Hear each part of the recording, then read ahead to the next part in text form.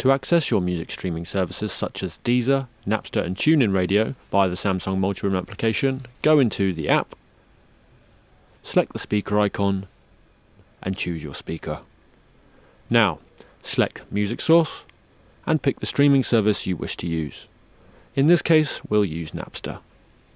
Enter your login details, which you will only need to do once per speaker, and play your favourite music.